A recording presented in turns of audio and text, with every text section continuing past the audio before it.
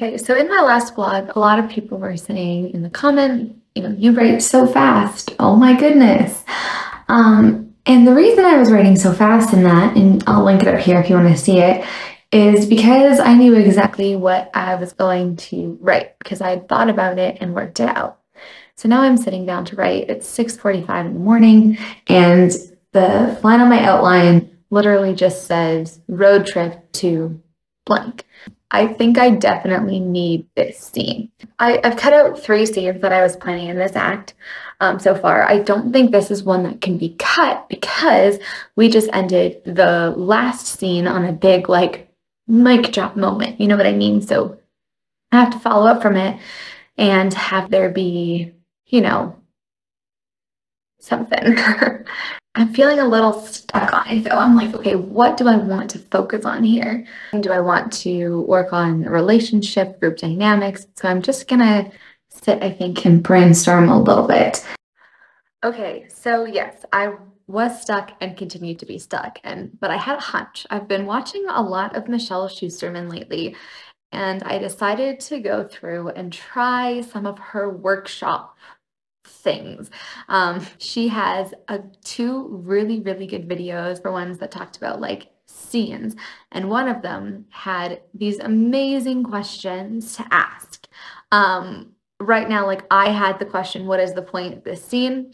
Her question's much, much better. So I'm going to link it above and I'm actually going to go through and answer all of the questions except for the last one. The last one is like about balancing the types of narration. I haven't written a word in this scene yet. I know that's actually a problem that I have. Um, I write a lot of dialogue, especially in this book. I have like a lot of very dialogue heavy scenes, but that is something I am choosing not to care about at the moment and I will fix in editing. but you know, the most important thing in a first draft is just getting the main story on the page. Um, so I have a whole bunch of questions here that I'm going to go through one by one. But then I got, I saw this video, I'm going to put it up, which is find your scenes beats with tweets. And she was talking about how a beat is when something changes in a scene. And she said, if you're getting stuck, to have your character write three to seven tweets about what's going on in this scene. And I just like, it sat in my mind for a second. I was like, what? And then I was like, oh my God, that would be amazing. Can I put that in the book? I'm gonna see, does this help me write a better scene? And I am super excited to do this. Yay! Thank you so much, Michelle Schusterman, for your amazing videos and getting me unstuck. Scene 24, we gotta, we gotta figure this stuff out. Um, the first question is, what changes in this scene? What do we learn about the characters in the scene and how do they change? So I'm going to brain dump onto my document and I'll let you know how it goes. Okay, so it is 8 a.m. and it is still very dark outside and I have gone through those different questions. I did pause for a minute to win on Wordle.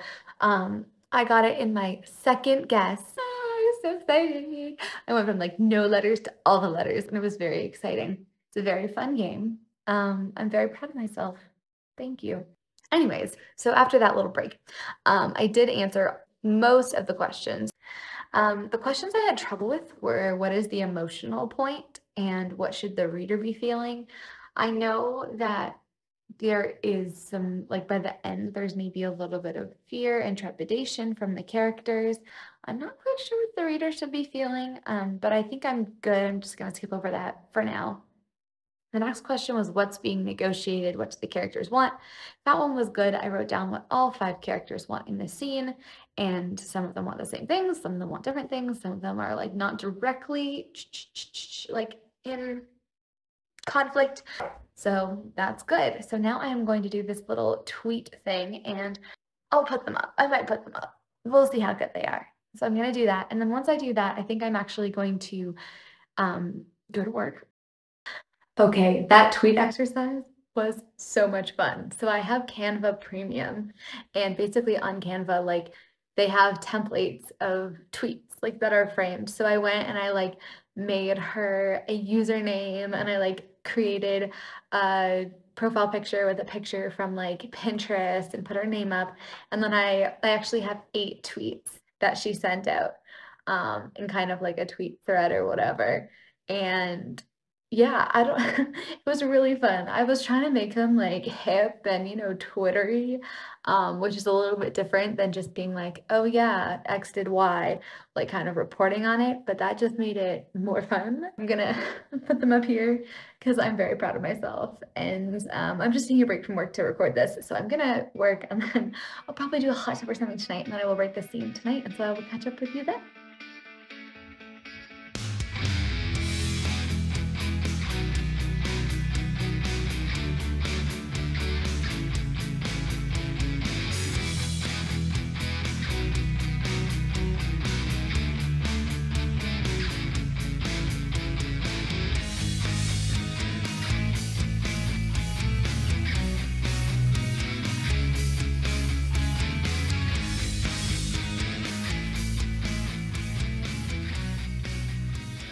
Yay, fun, more bad lighting. But I have just done it. I wrote 1700 words in about an hour and a little bit, and I got that scene done. That was scene 24. And then get to scene 26, and scene 26 is going to be so much fun, and scene 27 is going to be so much fun. This is the midpoint. All this crazy shit happens. Scene 28, I'm so excited for. Scene 29 is going to be great and you know things are things are pretty good from now on i think. I feel pretty good about it. One of the scenes is literally just an agenda so we're getting there. So my goal was to finish act two by saturday so i have to write a scene today a scene tomorrow and then i'm done act two.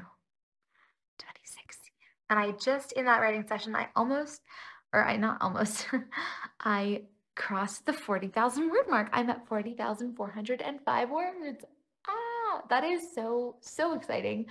Oh my God, I forgot something super important. So as I was writing tonight, um, I wrote a line and I was like, huh, that could be a book title potentially. And so temporarily, because I'm so tired of calling this the Florence heist, I am going to refer to this project as some kind of criminal. Ba, ba, ba. I really like it. I just, I really want to get this drafted. I'm feeling in the groove. I'm feeling it. I'm loving it. So here's to this book. here's to this book, and here's to finishing, and here's to Michelle Schusterman, whose methods were so helpful for figuring out that scene. So helpful. Um, that was amazing. And I know this is not like the best lighting position. I am in bed. Like, yes, I was writing in bed. I'm not very fancy about that kind of thing. I know I shouldn't. I know you're not supposed to. But I don't really write well at a desk. I like to be cozy. I like to curl up. I like to enjoy myself. So, anyways, um, thank you so much for watching. Yay!